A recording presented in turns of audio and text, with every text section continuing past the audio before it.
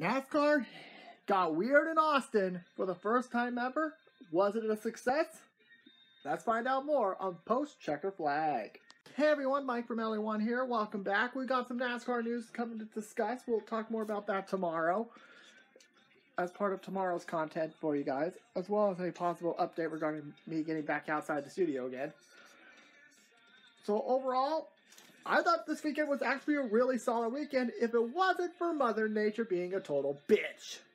Let's not. I'll talk more about this as we get to the top 10 of the point standings. The truck race of Charlotte is today. We're one hour away from the green flag dropping. Let's not waste any time. Let's get to the results quickly. Hey everyone, here are your top 10 for the Toyota Tundra 250 at the Circuit of the Americas. Oh, 225.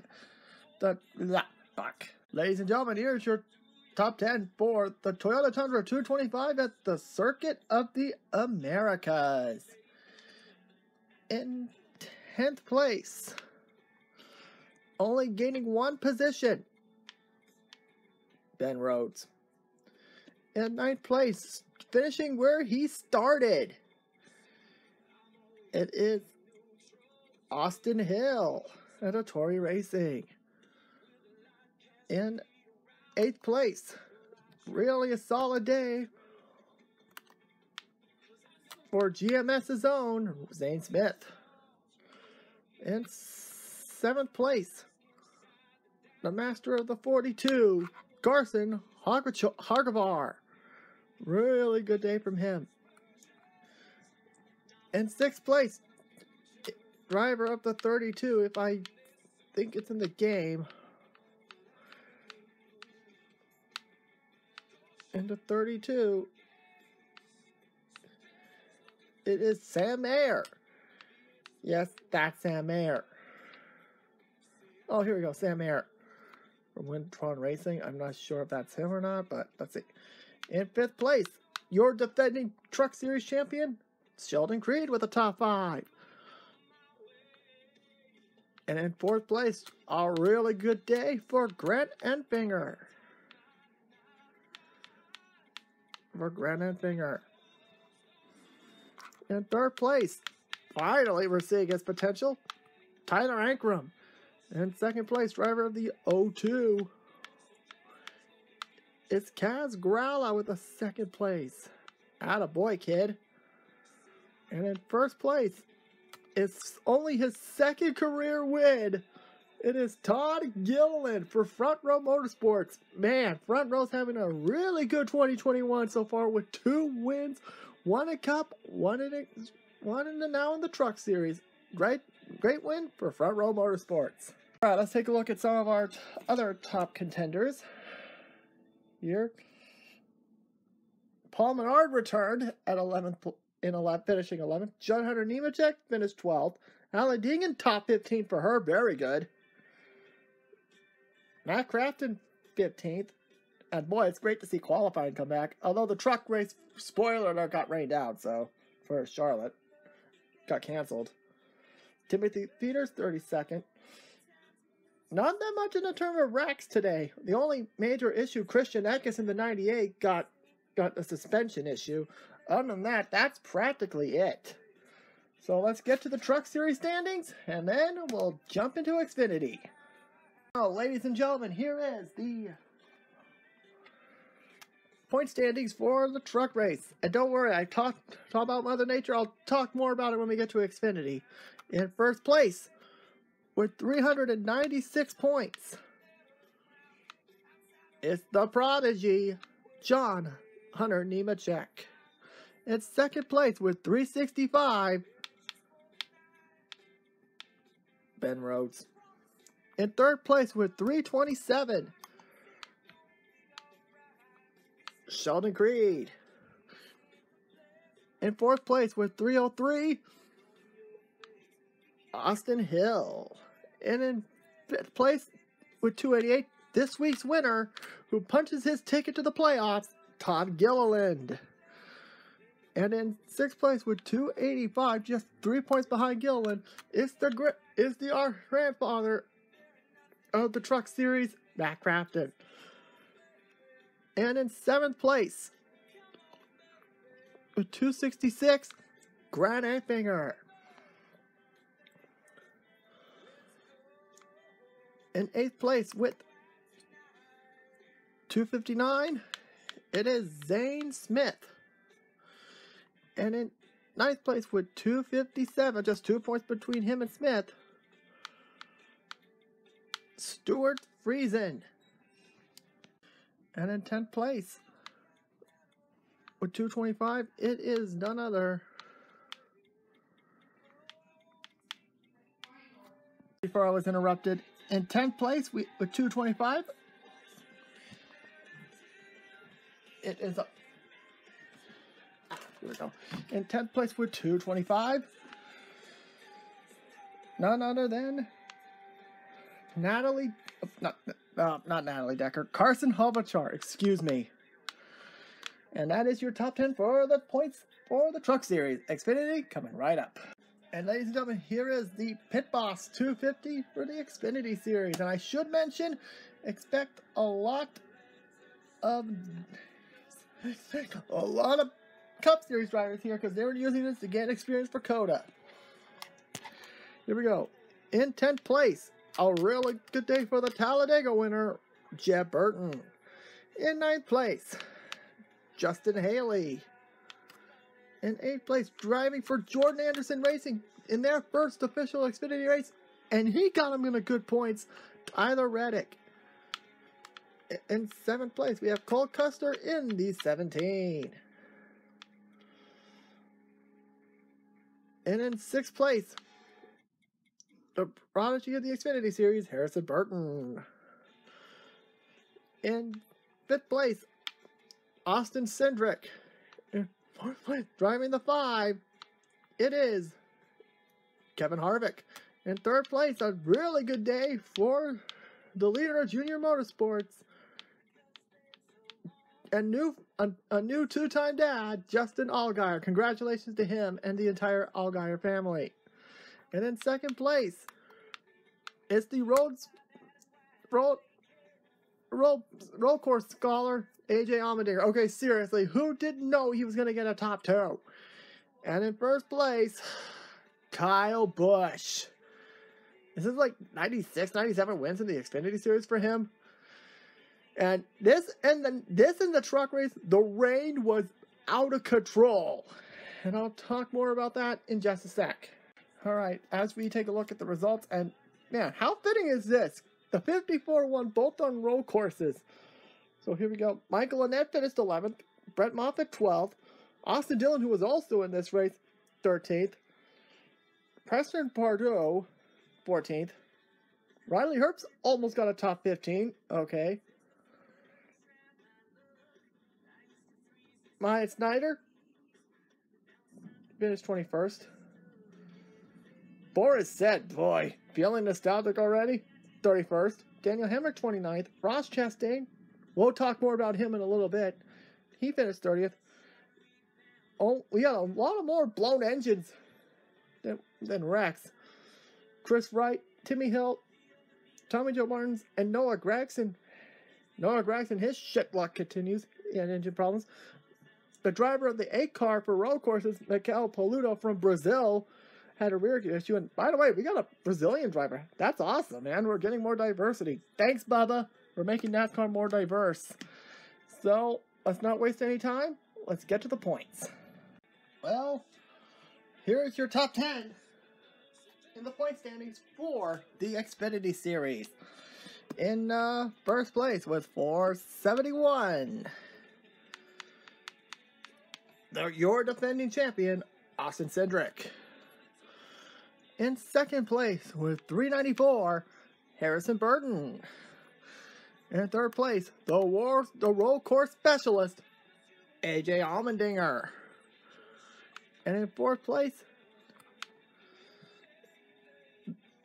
the perennial runner-up of the Xfinity Series, Daniel Hemric. In fifth place, a two-time dad, Justin Allgaier, with 359. And in sixth place with 345, Ross, not Ross, Jeb Burton. In for 345. In seventh place with 330, just 15 points. Justin Haley. In eighth place with 302, Jeremy Clements. Place with 301, Noah Gragson, which I view is now in a must-win situation. And in 10th place, in 10th place, Myatt Snider with 298. Boy, this is getting closer and closer, and I'm enjoying every minute of it. Now let's get to the cup race where it went the full. Oh, wait, it didn't. We had our first rain out of the season. Before we get to the cup, there's something I really want you to see. So I was checking on my analytics, checking to see how much viewership been getting like I usually do. Then this happened. Now I should mention here, notice I, viewership has been steadily rising and then with the all-time high 631. But I don't know if this is a YouTube glitch, but yeah, no one watched my videos yesterday. What the literal fuck? That's the I think that's the first time in in the history of the channel I that has actually happened. I don't know if this is a YouTube glitch because if that's legit and I had zero views yesterday, that that just sucks. But the good news is viewership seems to be getting back and hopefully this zero will be a total fluke and hopefully this will not have ever happen again. Alright, now let's get to the cups. And now, ladies and gentlemen, here is the top 10 for the Echo Park, Texas Grand Prix. Probably one of the coolest names for a race this season, better than the where it beef is what's for dinner races and the Bushy McBush 400. All right, in 10th place, we have Rowdy Kyle Busch. In ninth place, a really impressive outing Tyler Reddick to go aside with his impressive run in the Xfinity. In eighth place, the tamer of the monster at the Monster Mile, Alex Bowman. In seventh place, will this guy ever go away? A really to improve on front rows, Michael McDowell. In sixth place, finally, we see something good here. The 14 of Clint, Chase Briscoe getting his first top 10 in Cup. Congratulations to him. In fifth place, AJ Allmendinger. In fourth place, and this is a surprise, could this be a sign of things to come for Ross Chastain? In third place, the Connecticut racer, Joey Logano. In second place, Kyle Larson continuing his dominant run. And in first place, even though this is a rainout, this still counts, so no asterisks whatsoever. Anyone believes that he should have to have to have put an asterisk on this ring can fuck off. Your defending champion, Chase Elliott. Yeah, I don't know why people are saying he should vacate the win. And oh, we'll talk more about that tomorrow. So let's talk about some of the stuff I liked. Well, for one, we had a, let's see, who else? Byron finished 11th, so the end of the top 10 streak, which sucks. Buescher was 13th. Ryan Preece 15th. Brad Keselowski finishing 19th. Corey LaJoie got 25. That's good for Spire. Austin Cindric finished 25th, and he was up in the front for most of the day until he finally gave out. But now we we had a DVP for Quin Houff, of course. We gotta talk about the wrecks. The first big wreck happened very early on, right around stage one where Kevin Harvick was involved along with Christopher Bell and Justin Haley. It was pretty bad. because the driver couldn't because the drivers couldn't see shit because the rain really was a factor here because it was coming down pretty hard. And it was revealed that Bubba Wallace rammed into Harvick because once again he couldn't see shit. And no people are gonna say he didn't he ran out of talent. Thank you, Ryan Newman, for that quote. No, if you're in the same boat, uh, the same shoes as Bubba Wallace, you couldn't see shit either. Which is why I think they should have red flagged the race right then and there. But then it took another big crash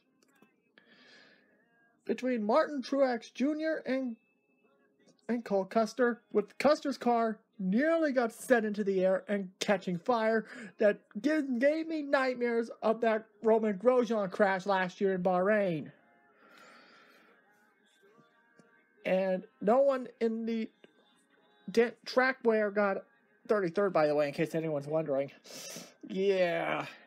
I think it was like 14 laps to go. That's when they called it.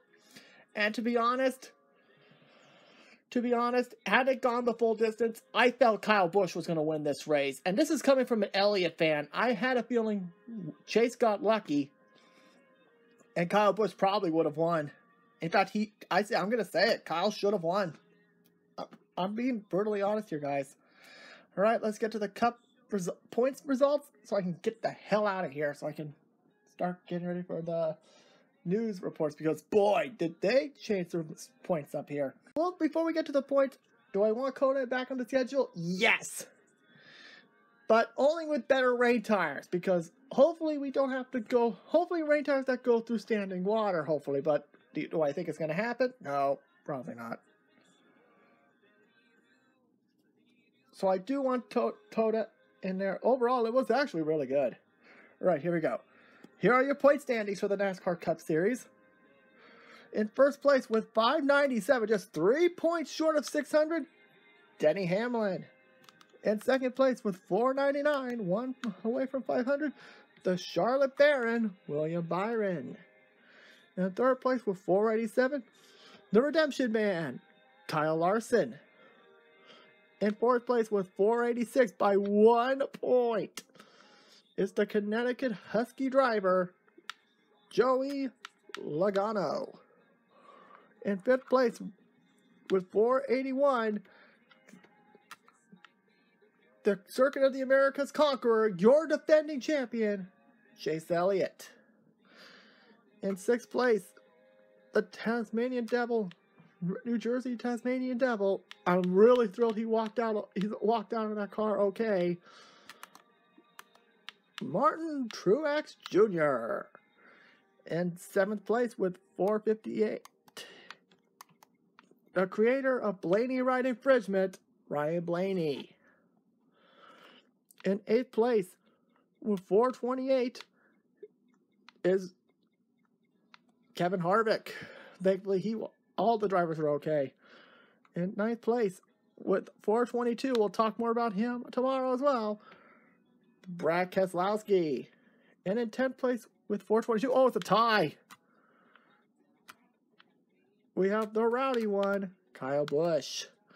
And that's going to conclude this week's Post Checker Flag. Thank you guys for watching. Hopefully this week's races at Charlotte Motor Speedway, it's better than that shit show at the Nashville Fairgrounds meeting. Thanks for watching, everyone.